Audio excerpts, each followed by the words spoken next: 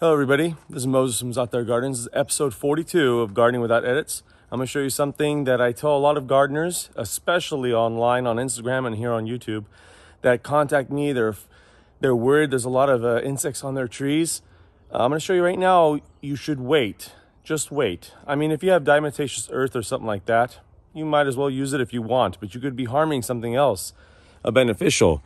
So this is an apple tree. An apple tree, new leaves are known to get a lot of aphids. So I'm gonna show you right now how bad the aphids are. And You can already see where I'm leading to.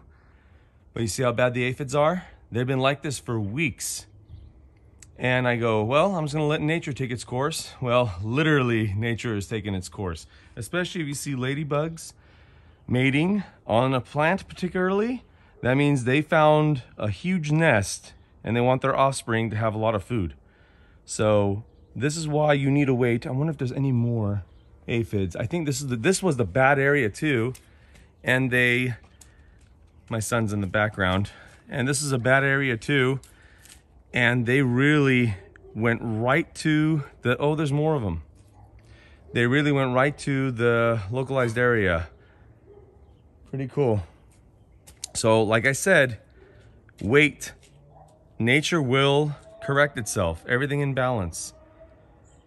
Happy gardening, everyone.